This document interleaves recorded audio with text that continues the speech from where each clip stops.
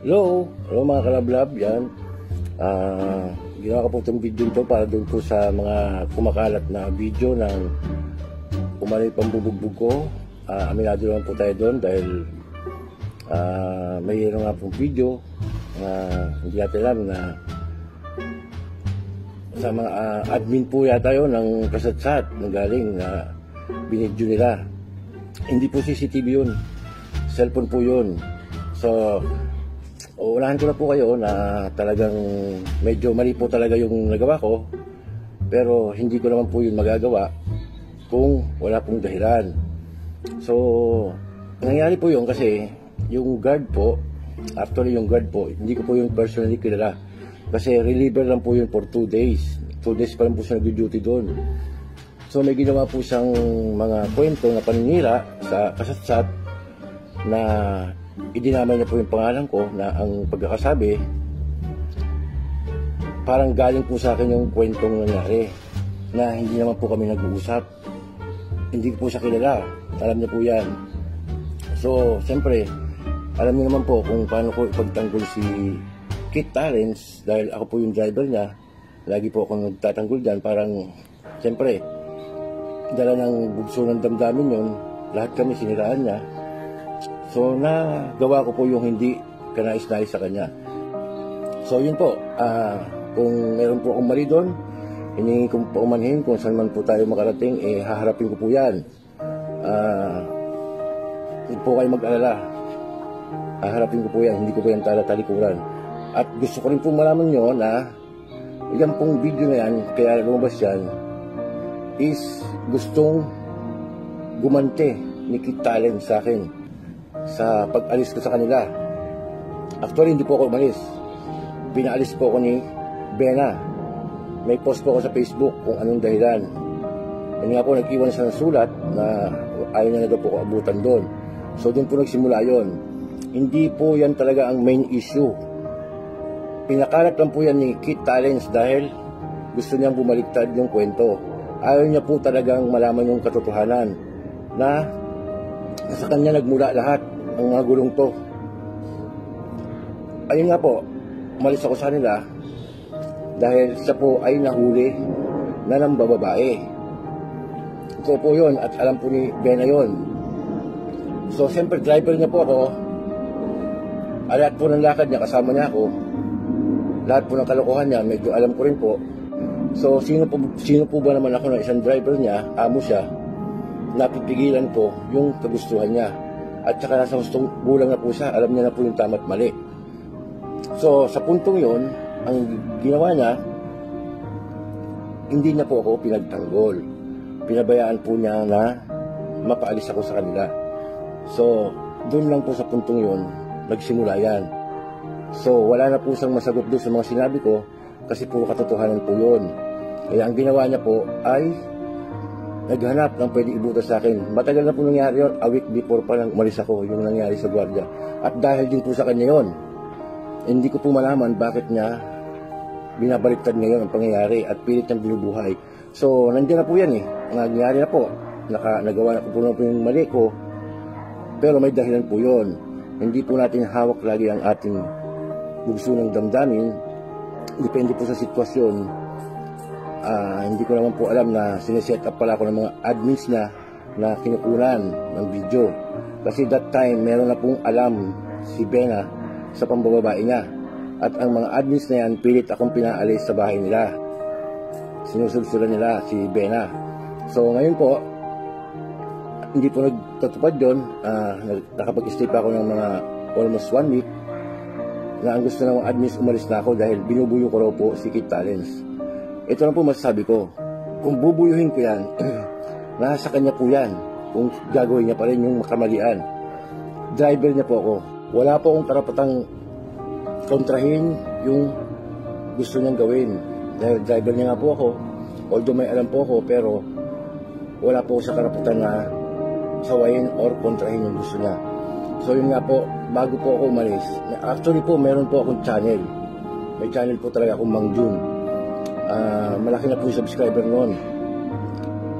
Sikit talents po gawa noon, pero akin po yun. Channel ko po yun. Alam po yun ng mga kasatsat at ng mga kalablab ngayon. Hindi po kaila sa inyo yun na may channel ako, nagbablog ako doon, nag-isa ako, yung mga huling ano ko, hindi ko na sa sinasama, ako na nag edit So, matagal ko na pong gusto umalis sa kanya eh, kasi marami pong mali talaga. Ngayon, ang gusto ko lang po talaga, yung channel ko. Ang problema, ayaw niyang bitawan. Ever since po, hindi po ako kumita sa channel ko. Hindi ko po nakita kung magkano ang kinikita niyan. Yung silver button ko, tinatago niya yata. Ang tagal-tagal na, wala pa. Ito po, ah, Mang Jun po ang pangalan niyan. Hanggang sa pinalitan niya po ng Mang Jun and Kasatsat Family. Hanggang sa naging Kasatsat Family na lang, nawala na po ako doon. Dinilit na rin po yung mga ibang video. Pag tinype niyo po ang Mang Jun, lalabas po Kasatsat Family. So yun po yung channel ko. So, yan, take note po ah. Akin pong channel yun, pero hindi po kumikita. Ano pong meron siyang pag-iisip, di ba? Sabi niya gusto niyang tulungan ang mga tauhan niya, pero ang ginagawa niya, parang kinakamkam niya. Kakurampot lang na kikitain. Kakamkamin pa niya. Pag sumasahod daw po yung channel ko, bibigyan na lang po, una, binigyan niya ako 10,000. Hati daw kami. Bakit po kami maghahati? Eh, sobra-sobra na po yung hirap ko sa vlog niya. Nakikita niyo po yun. Halos hindi na po ako natutulog. Ayan, isa na po yan. Bago po ako malis, nung huling araw ko doon sa kanila, kinausap ko po siya kasi alam niya po talaga kung saan lang ako kumikita. Sahod ko bilang driver. Yung binibigay naman po niya, hindi naman po regular yan na extra-extra, hindi po regular yan. May bigay man po yan sa akin, panigurado galing din po sa channel ko yon. So, binigisa lang niya po ako sa sarili kong mantika. So, ito po, ang siste. Sabi ko sa kanya, baka naman pwede mo akong matulungan kahit panimula ko. Hindi ko na po binabanggit yung channel ko kasi hawak na po eh. Siya po may hawak na account. Baka kahit, panimula ko man lang, master kasi alam mo kung saan ako kumikita dito. Sahod ko lang talaga bilang driver mo. Paminsan-minsang extra na binibigay mo pero hindi palagi po yun. So ganito po, ang sabi niya, oh, tutulungan kita. Pero wala akong hawak na pera ngayon.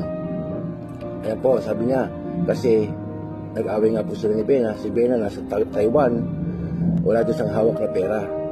So sabi ko, sabi niya sa akin, gawa ka ng channel mo, tutulungan kita. Ipopromote ko at isi-share ko. So, bago po ako umalis, pinilit ko pong gumawa ng bagong channel ko. Kahit masakit man po sa loob ko. Pagkagawa ko po, in-uploadan ko po kaagad. So, nung natapos na may upload na, may channel na akong bago, sinabi ko po sa kanya na, Master, okay na. Baka pwedeng i-share mo na at pakipromote. Ang ginawa po niya, tinulugan niya po ako. So, no choice po ako, kundi umuwi na lang. Kasi ayaw na nga po ko abutan ni Benaron sa kanila. So, umuwi po ako na wala. So, ilang araw, lumipas, wala po siyang paramdam hanggang sa ipinaban na nila ako sa village. Bawal na po akong pumunta roon. So, paano pa po niya may paparating sa akin tulong niya kung pinaban na nila ako sa village. So, wala na po talaga siyang balak. Tulungan ako. Kumbaga, sa lahat po ng ginawa kong pagtatakip, pagtatanggol, mga sakripisyo ko sa kanya, sa vlog niya, pagpupuyat, halos di matulog. Lahat ng mga bumabati ko sa kanya, ng baba, sinasalo ko, sinasagot ko, pinagtatanggol ko siya.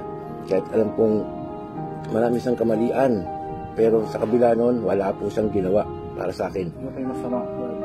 Oo, parang ganun. Ako pa po ang lumalabas na masama. Samantalang siya po itong may ginawang kalokohan. Ngayon, ito po, kung bakit lumabas po yung video na yan ng gwardiya. Kagagawan po niya yan kasi yung pangalawang post ko, sinagot ko lang po yung mga post niya. Lahat po ng sagot ko ron, alam niya tama. Alam niya po yun. So, lahat po ng post niya, inirase niya. Idinilit niya, hinide or hinide niya. Kasi, wala na po siya may sagot. Kasi yung mga sinasabi ko, hindi niya na po expected na ilalabas ko yun. So, kasi wala na po eh. Kailangan na pong ilabas talaga eh, yung mga panluloko niya. Mga panluloko niya po, hindi lang po sa akin, sa mga yaya, at sa mga manonood niya. Ito pa po, ang mga yaya dyan, hindi nagtatagal. Lagi na lang niyang inililin lang yung manonood kung anong dahilan ba't hindi nagtatagal. So yun na nga po, hinahanap na po ako ng mga followers bakit wala na ako at nagsarili na ako ng vlog ko. So, marami po na nagtatanong, Mang Jun, bakit wala ka na doon? Baka pwede naman sabi. So, siyempre po, ang sa akin, gusto ko na rin pong ilabas ang katotohanan. Dahil din po sa mga ginawa niya sa akin, pangloloko. Kasi wala na rin po eh. Ano pa pong aasahan ko sa kanya? Eh, hinayaan niya ako. Binitawan niya ako sa ere. So, ito na po. Wala pong mga benepisyo ang yaya dyan. Pati ako. Kung magtrabaho kami, ako, ako po, halos 24 hours. Kasi magbablog kami sa gabi, sasamahan ko pa yan. Pag makaidlip pa na ako, gigisingin ka pa rin yan dahil may uutos yan. Kinaumagahan, maghahatid ako ng mga estudyante. Hindi ko rin po pwede itulog yun dahil susundo pa rin ako. So hanggang tuloy-tuloy na naman po yun hanggang gumabi. So ang kinakaano ko lang sa kanya, ayaw niya pong harapin yung totoong issue. Bakit niya po ini inililihis? Ngayon, nandiyan na po yun, yung video na yan. So, haharapin ko po yan. Ibang party po yan. Pero nagmula po lahat ng gulo na yan ay kay Kit Talents. Yan lang ang sinasabi ko sa Kit Talents. Magpakatotoo ka. Huwag kang nang dadamay pa ng iba. So, yan po, yung insidente yan, harapin po yan kung saan man po ka makarating. Ulitin ko po sa inyo. Pero sana harapin din po ni Kit Talents yung problema niya sa akin. Unang-una, yung pinasok ko dyan, ng mga benepisyo ko, dapat ibigay niya. At yung channel ko, sana bitawan niya. Dahil akin po yun. Pangalan ko po nandun. Wala po siyang karapatan na i-hold yun. Hindi lang po talaga ako makaano dati dahil dinadaan niya lagi sa init ng ulo niya. Alam po niya yan. Kasi interesado rin siya eh. Itinago niya na nga kung ilang subscriber, ayaw niya ipakita. Alam po ng mga kasatsat at kalablab yan. Doon na lang po sana isipin nyo kung gaano ka loko yan. Isipin nyo lahat ng ginagawa kong sakripisyo sa kanya, ginaganyan pa niya ako. Sabi niya, tutulungan yung mga tauhan niya na makaangat sa buhay. Pero anong ginawa niya? Niloko niya. Pinapaasa niya. Harapin mo yung totoong ginawa mong kalokohan. Nang babae ka, yan ang dahilan. Huwag mong ilihis sa kung saan-saan pa man. Kit talents. Sabi mo, lalaki ka, di ba? Magpakalalaki ka. Kastig ka, di ba? Magpakaastig ka. So, yan lang po. Humihingi po ako ng dispensa kung ano man po yung nagawa kong kamalian. Tao lang din po ako. At yun po ay dahil sa pagtatanggol ko lang din sa kanya na ngayon ay binamasama niya at binabaliktad niya. Na ever since, lagi naman po niya sinasabi, harapin mo yan, Mang Jun, ikaw nang bahala dyan. Sagutin mo yan, Mang Jun. Ganito, ganun, ganun, ganun. Ganun po ang papel ko sa kanya. Alam po ng karamihan yan.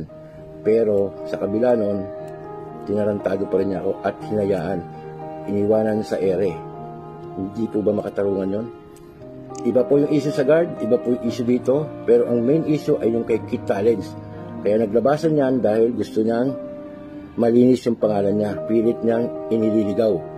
So yan, haharapin ko po lahat yan. Huwag po kayo mag-alala, saan man po tayo makarating. Isa sa guard, and si Kit Talents, gusto ko magpakatotoo siya. Yun lang po. Sana maunawaan niyo po yung mga face, Facebook na post ko. Kung hindi niyo pa po nakikita yung mga dahilan doon, puntahan niyo po, basahin niyo. Yung kanya po, dinilit niya na kasi wala na po siya mapuntahan eh. Ang dami mong kalokohan, Kit Talents. Inamin mo na ba na anong ginawa mo sa babae? Umamin ka na ba na mayroon ka pang iba? Alam ba ni Bena lahat yan? Ngayon tayo magtutuos. Ilalabas ko lahat yan. Tandaan mo, tinarantado mo ko. Lahat ng sakripisyo ko sa'yo, ibinuhos ko. Pero binago mo ko. So, yan lang po mga kalablab. Sana maunawaan niyo po ako ngayon sa aking paliwanag na to. Haharapin ko po yan. Huwag po kayo mag-alala. Basta sikip talents, sa'yo nagmula lahat ng gulong to. Sa'yo, sa inyong mag-asawa. Sana, iniisip niyo muna kung ano bang kahinat na nito bago niyo inisip yung sarili niyo. Sana isipin niyo muna yung mga tao nagmamalasakit sa inyo, nagmamahal sa inyo na ganyan tinatapak-tapakan niyo. Isa pa po, yung video ni Yaya Hina. Yaya Hina, hindi kita dinamay. Tinulungan ko pa nga kayo eh. Tingnan niyo, bigla siyang mag, aano ng benefits, benefits niyo. Anong sabi niya doon? Hindi daw nila alam. Kalokohan. ang dami mo ang kalokohang alam eh. Yung sa batas, di mo alam. Na, yayayin na, hindi naman kita dinamay eh. Iba kasi yung sinasabi mo sa video sa totoo, sa kalooban mo. Alam mo yan, huwag kang magsinungaling. Ilabas mo yung totoo kung gusto mo magsalita. Ngayon kung ayaw mo, manahimik ka. Ano ba sinasabi mo doon sa video mo? Puro mabait sila, mabait sila. Hindi ka mapakali, para kang aligaga. Hindi ka nga makatingin ng diretso sa camera. Parang may sumisenyas pa sa'yo. Ini-skip niya, tinuturuan. Yun po yung totoo kasi alam ko po yung diskarte ni Kit Talents. Alam ko lahat ng galaw niyan. Lahat ng baho niyan, alam ko. So, ikaw Kit Talents, umayos ka. Huwag mong ilihis ang istorya. Lahat ng ito ay dahil sa'yo. Tandaan mo yan. Maghaharap-harap tayo. Lahat ng kalokohan mo, isisiwalat ko yan para lang mat- matahimik ka sa panluloko mo. So yan mga kalablab, maraming maraming salamat sa inyo. Dito nga po pala yung kaibigan ko, si Christian. Yan. ah sinasamahan niya ako dito ngayon kasi meron kami pupuntahan mamaya. So yan, maraming maraming salamat po sa inyo.